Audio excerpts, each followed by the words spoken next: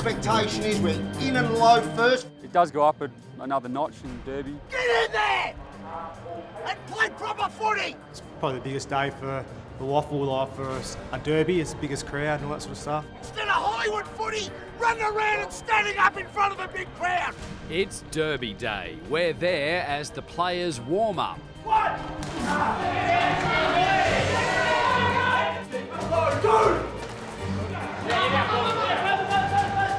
fans roll up.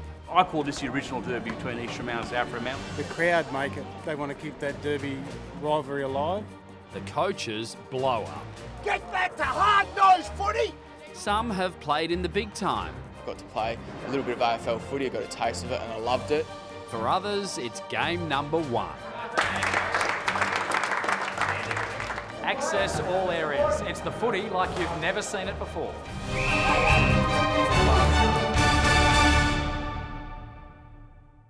Record crowd, the gates have been locked. For more than a century, South and East Fremantle have been the fiercest of rivals. We'll let the picture tell the story. Long before the Eagles and Dockers, this was the original derby.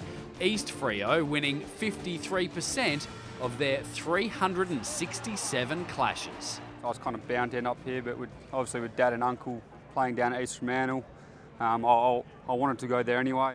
Ryan Lester Smith has blue and white blood. Dad Neil was the club's leading goal kicker three years in a row. So it comes to Lester Smith. Now Neil coaches the team's forwards, including son Ryan. A lot of people would, you know, say, "Oh, you're only getting a game because because of your name," but having dad there it has helped. Um, it's helped me grow my game, and um, I think I've shown I, I can play. Obviously, the history at this footy club's really big. Blaine Wilson's dad, Dean, played for the Bulldogs too. Blaine managed nine games with the Eagles before being delisted last year. Unfortunately, I wasn't there for as long as what I would have liked to be, but um, I'll still have a, have a good crack this year, and if something comes up, I'll, I'd probably jump at it with both hands. For another former Eagle, Ashton Hams, a move to the WAFL meant a reunion with twin brother Kyle. Growing up in the country town Katanning, um, not too much to do, so we're very lucky to have a twin and go to school and play footy together, and yeah, it's a big part of our lives. A few blues in the backyard. We're there? Today, it's a contrast in coaching styles. Todd Curley's Bulldogs. You know how we play, all right? Mm-hmm. Win the ball. win the ball, but win it as a group, all right? And at the end... Unimpact. Against the Sharks, led by Steve Malaxos. Manic pressure to push hard to defend, all over him like rash, but we need every single player. He'll get vocal to kind of try and pump us up, um, make sure we're ready from that first line. The expectation is we're in and low first for the ball through the midfield, and there's manic pressure all over the field. All right, let's go. Let's go. Two proud clubs run onto Fremantle Oval in front of 5,000 die-hard fans. I still really enjoy it. I go every week, um, and I, people are missing out by not coming. And we are underway on Macca's Match Day on 7 Mate. In front of what's a terrific crowd. Return to the glory days in part for the WAFL. The home side gets off to a flying start. Delolio, oh, brilliantly yeah. gathered, round his body. That's how you do it. A three-goal lead at quarter time. Curley is cruising. You thought they were on, but they've come out and they've displayed effort, and that's all pretty really dominant want. first quarter, really. Yeah, it's only one quarter. So Three we'll to go. how we go. All right. Malaxos is fuming. Because we want around, we just want to get a kick and a handball and look good. You're not going to win like that. Get your knees dirty, get the ball on the right side of the field, play as a team, forget the stats, forget one-handers, forget playing Hollywood footy. Get out, get dirty, put the pressure on, and forwards take your marks. Let's go. Number 45 is 19-year-old Jacob Dragovic, making his league debut. From grandparents Jacob, Jacob. to nieces. Go, Jacob!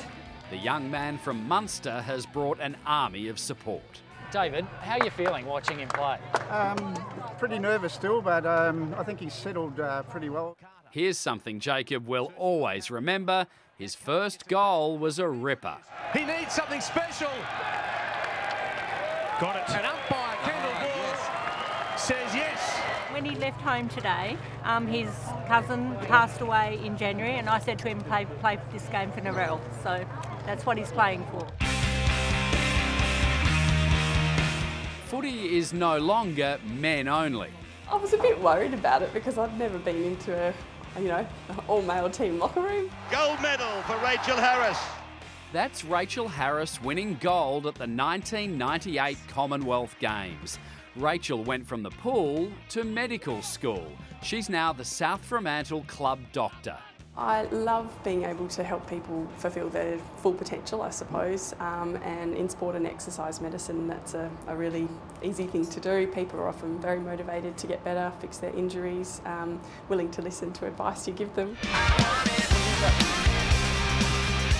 Back on the field, the Sharks have taken a six-point half-time lead. We're all set for a wonderful second half. Yeah, really important that South Fremantle keep their pressure up.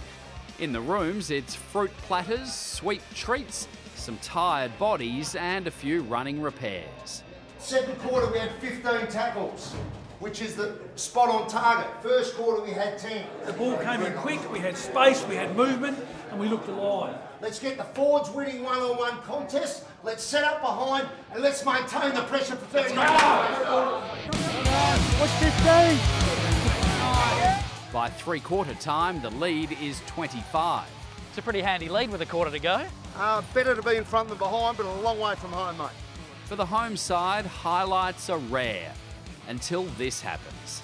Lobs it to a dangerous place. Oh, oh. Nick Mark, Saunders! Oh. It's been paid! Did you give yourself a realistic chance? You hung in the air for a while. Oh, yeah, I went a bit early, but I've always got a realistic chance, I, I think, anyway. It was a bloody good mark. Yeah, cheers, mate. East Fremantle take the four points, but a reminder from the first gamer that there's more to life than footy.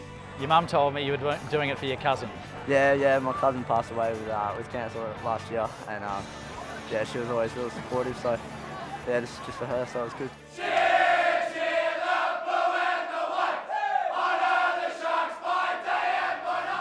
That's Freo Derby number 368.